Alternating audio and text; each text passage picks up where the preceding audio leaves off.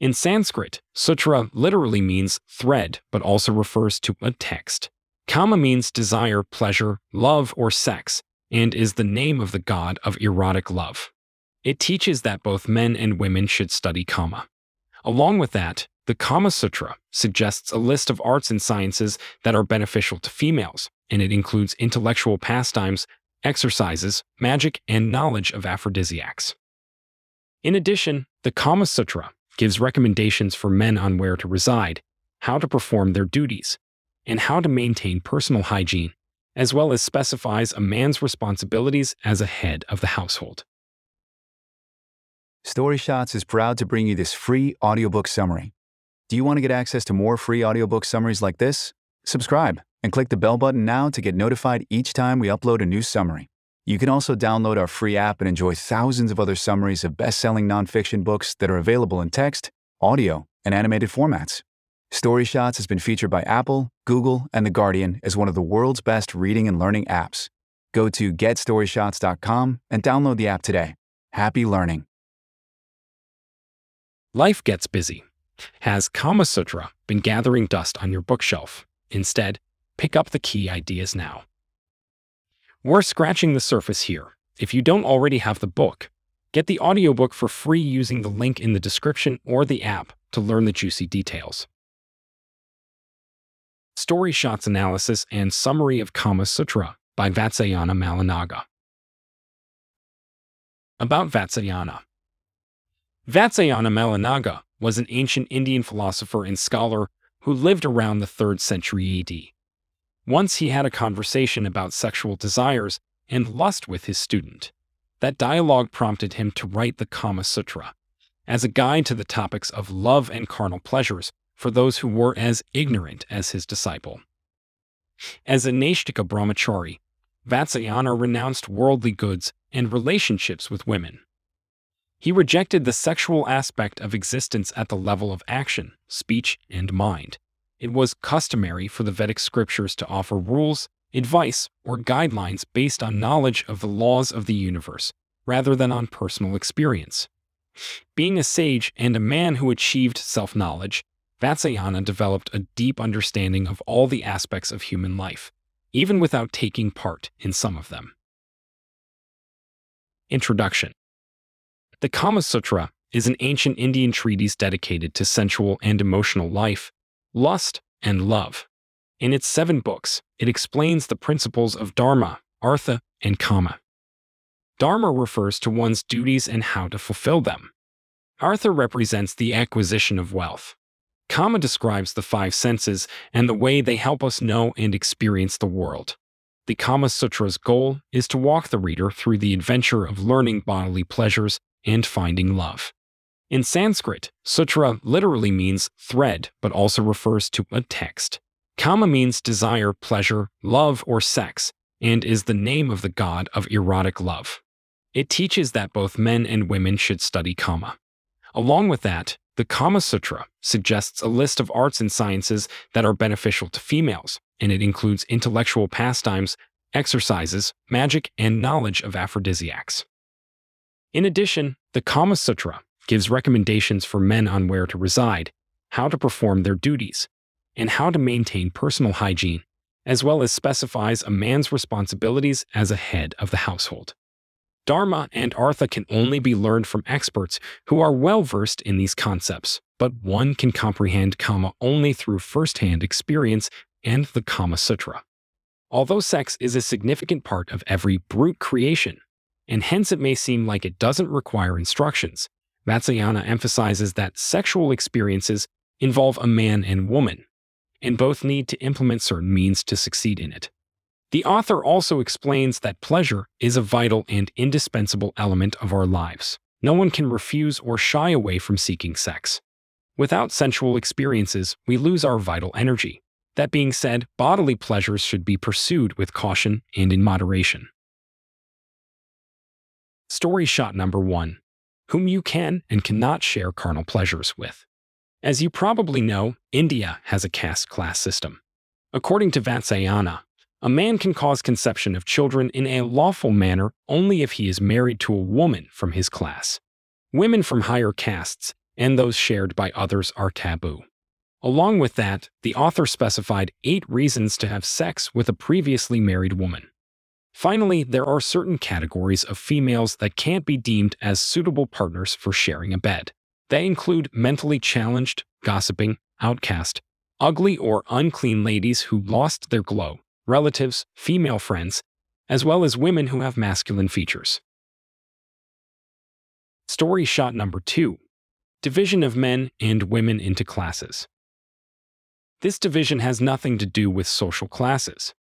Instead, it uses the sizes of genitalia as a fundamental criterion.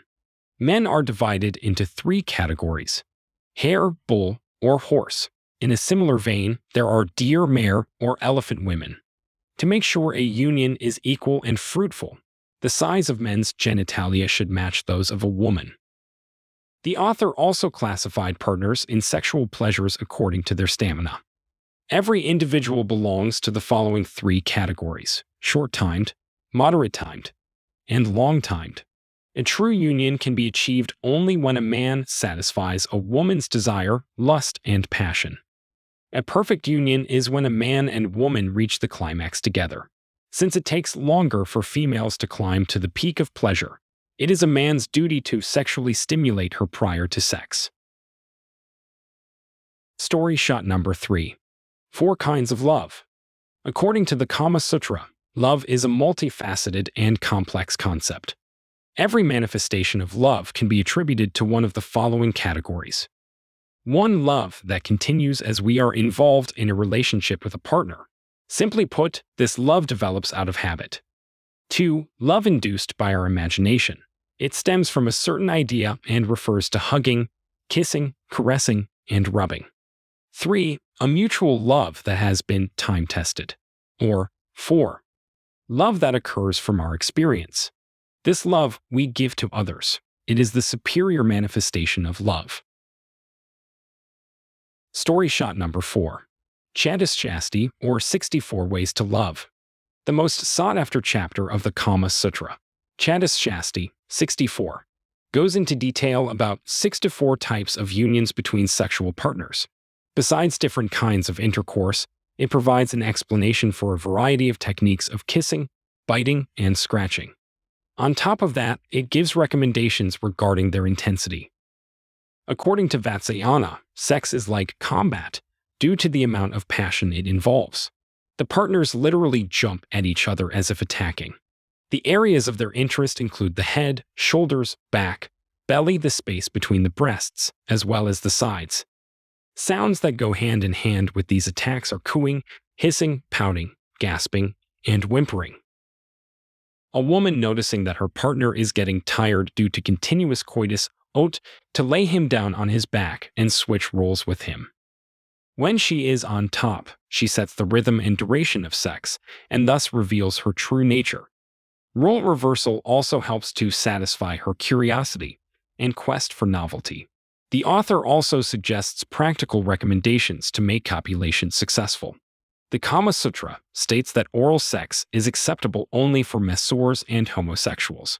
In normal relationships between a man and a woman, their mouths should be used exclusively for licking, kissing, biting, or sucking other body parts during foreplay. Apart from all that, Chatuschasti suggests ways to begin and end intercourse. After the act of love, for instance, it is not recommended that partners look at each other.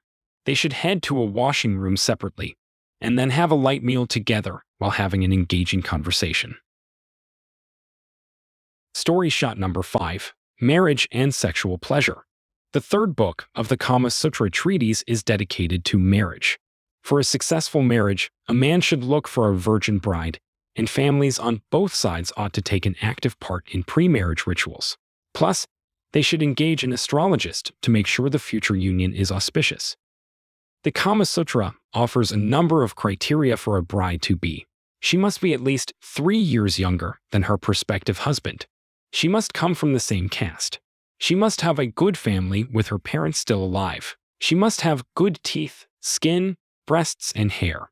Kama Sutra notes that girls with white spots on their bodies, physical deformities, balding heads, as well as those with ill sounding names are not suitable for marriage. Only when a girl has all of this in place, she and her future husband are able to gain Dharma and Artha, produce offspring, multiply their mutual friends, and achieve affinity. When a man finds a suitable bride, the first three days of their marriage should be deprived of sex altogether. A man needs to spend this time to gain her trust and help her build confidence. The next seven days should be bustling with listening to music, dining, conversing, and bonding with relatives. On the tenth day, a man can start gently caressing his wife and encourage her with words. He can teach her the 64 ways of love only when she is ready. Story shot number 6 The Role of a Wife.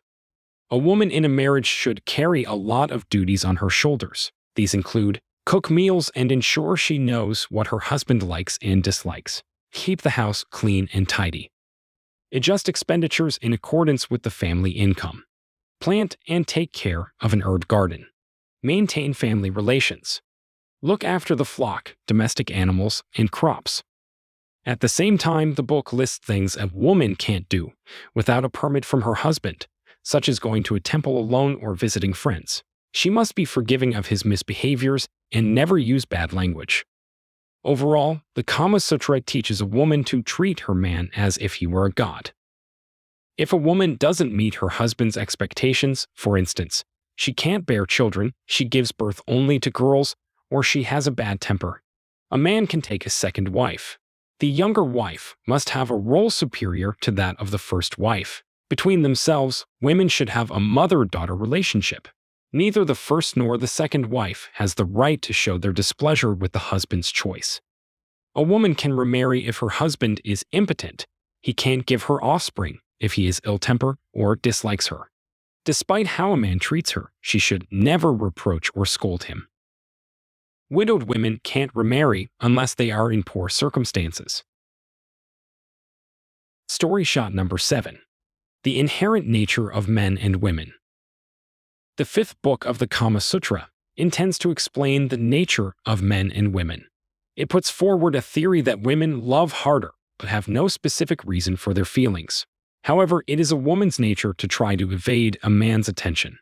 Therefore, he must be persistent until he gains her favor. Men, on the other hand, have a tendency to lose interest if they are being rejected. Hence, Kama Sutra teaches them to be persistent, because this persistence will help them find true love. The book offers a variety of strategies to win over a woman. It suggests asking friends to help with courtship, using messengers, and publicly bragging about one's best features.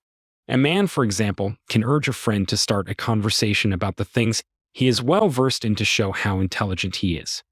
Males and females alike should pay attention to each other's behavior to develop and adopt the best strategy.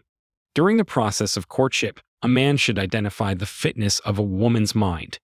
There are several ways to do so. For example, if a man met her once, and on the second time she came dressed up, it is a clue that she accepted his attention. If she shows no signs that his company is enjoyable, it makes sense to be persistent by using a different approach.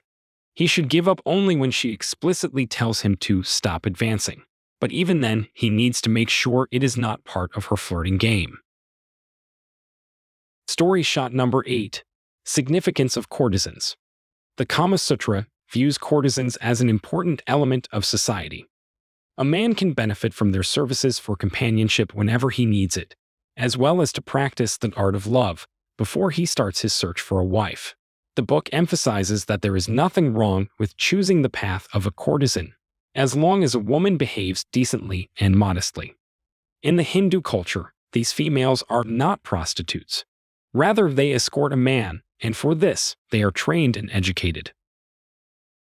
Every courtesan should seek friendship with people able to protect her, such as the police, as well as patrons. The latter is needed to get monetary support. Money is a top priority for this walk of life. If the only way to increase a monetary reward is to manipulate and trick, a woman can't ignore these methods. A courtesan should use flattery, game playing, exaggeration, and lies to achieve her goal. She must constantly show her male clients that she is in love with them because this boosts their confidence. When such a woman is with a man, she ought to be eager to show him all six to four ways in which he can enjoy her. She shouldn't dominate, though. Instead, she needs to let him lead, and she will be following his mood and granting his wishes. A courtesan shouldn't attach to her clients. If she notices that a man is losing interest, he gives her less money and avoids her company, for example. She should get hold of everything she can from him. Then she can put an end to their relationship. It's best that a courtesan has many lovers and doesn't financially depend on a single partner. However, she can be loyal to a man if he possesses incredible wealth and is willing to give her enough money and gifts. Story shot number 9 How to Enhance Your Charms. The seventh and final book of the Kama Sutra treatise provides some methods to make one's body more beautiful and suitable for carnal pleasures. In particular, the author suggests pastes, ointments, oils, and powders to enhance a man's and a woman's sexual appeal. Some of these products are intended for genitalia. Along with that, he provides the recipes for home remedies able to cure sexual dysfunctions, such as impotence, the lack of virility, or weak stamina. For men who are unable to satisfy their women sexually, the Kama Sutra recommends using penis-shaped devices. Final story shot summary.